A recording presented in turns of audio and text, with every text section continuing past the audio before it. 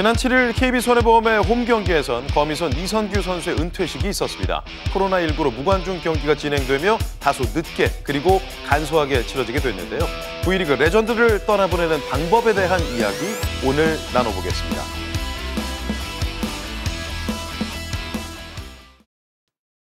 오늘 이슈 스파이크의 주제는 다름 아닌 은퇴에 관련한 은퇴식에 대한 얘기를 좀 나눠보려고 하는데요.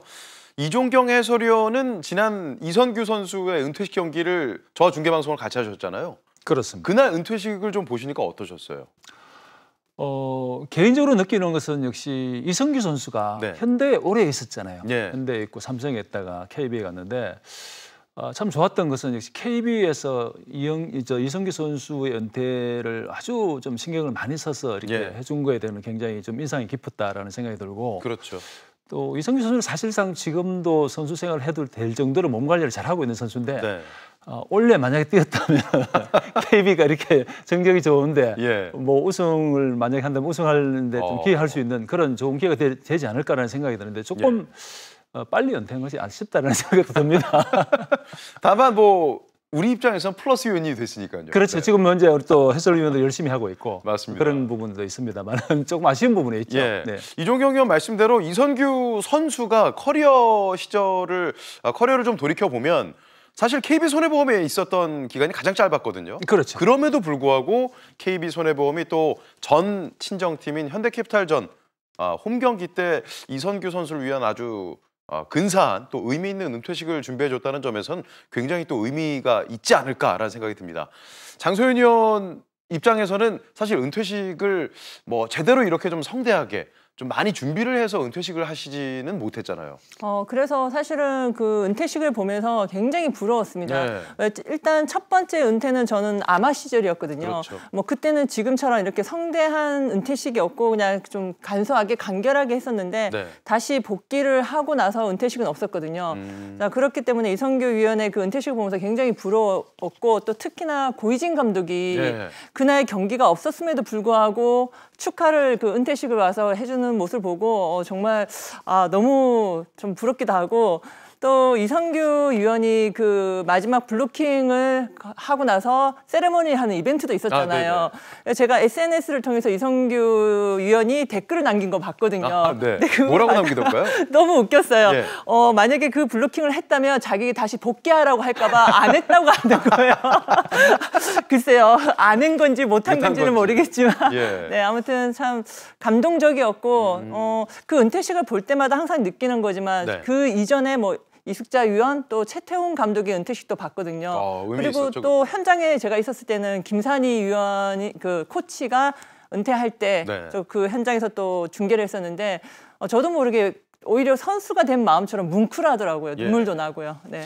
어 그렇기 때문에 사실 여자 배구 선수, 여자 프로 배구 선수의 은퇴식의 어떤 시작점이 된 선수를 말씀해 주신 대로 지금 아, 이숙자 해설위원의 은퇴식이 그 지점이 되지 않았을까요? 어, 맞습니다. 뭐 이숙자 위원이 그 해에 은퇴를 하면서 바로 뭐 KBS 그 해설위원으로 이제 가는 그런 상황이었는데 네. GS 칼텍스에서 굉장히 좀 성대하게 크게 했었거든요. 예. 그러면서 뭐 제가 어제도 이숙자 위원한테 전화해서 어땠냐라고 물어봤는데 음. 그 은퇴식을 한 이후에 선수들에게 전화를 되게 많이 받았다고 하더라고요. 아. 그래서 나도 언니처럼 은퇴식 을 치르고 싶다 예. 이런 얘기를 하더라고요. 그만큼 선수들이 그 한 분야에 오래 머물면서 마지막을 그렇게 아름답게 장식하는 거는 어찌 보면 굉장한 복이거든요. 아 그런데 지금 우리가 SBS 스포츠에서 너무 타사 해설위원 얘기를 많이 하는 것 같아서 혹시나 지금 동시간대 방송되고 있는 스페셜 V 쪽으로 이것도 돌아가시면 안 됩니다. 예, 뭐- 주간 배구에 좀 함께 해주셔야 되는. 네. 맞습니다. 근데 뭐 어쨌든 선수로서 은퇴식을 하는 거니까요.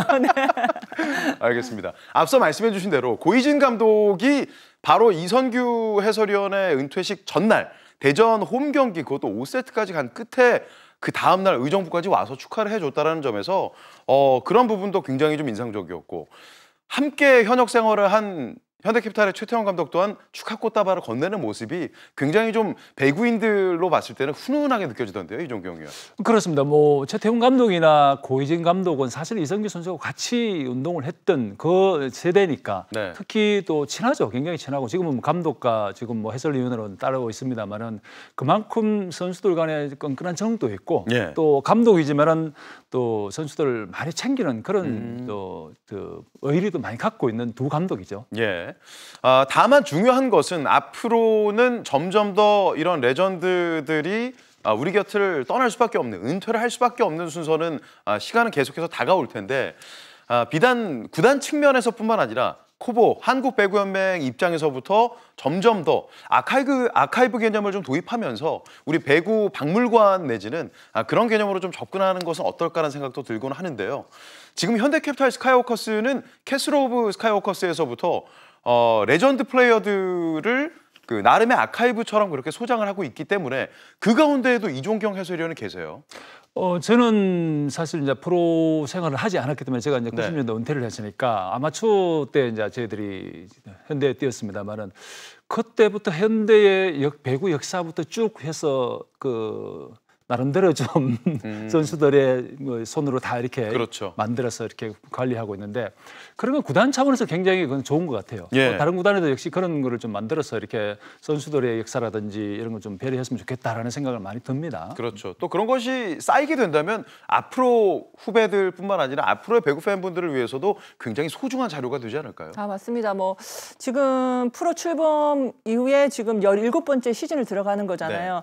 그렇기 때문에 뭐 구 단에서 각각 개인적으로 지금 이런 거를 하고도 있지만 그러니까 연맹에서도 한 번은 고려해 볼 문제인 것 같습니다. 예. 워낙 뭐 오랫동안 출범이 지금 역사가 생겼고요. 그렇죠. 자, 앞으로도 좀 그런 선수들이 계속해서 그런 어떤 그 은퇴식을 할 때라든지 음. 그런 거를 좀 기념을 하는 그런 게 있다면 훨씬 더 뭐 선수들 입장에서도 명예로울 수밖에 없고요. 네, 우리 뭐 장소연 해설위원 포함해서 이종경 위원 또 그 외에도 많은 아, legend player들의 hand printing 또한 남겨놓는 것도 상당히 중요한 자료가 될 것 같습니다.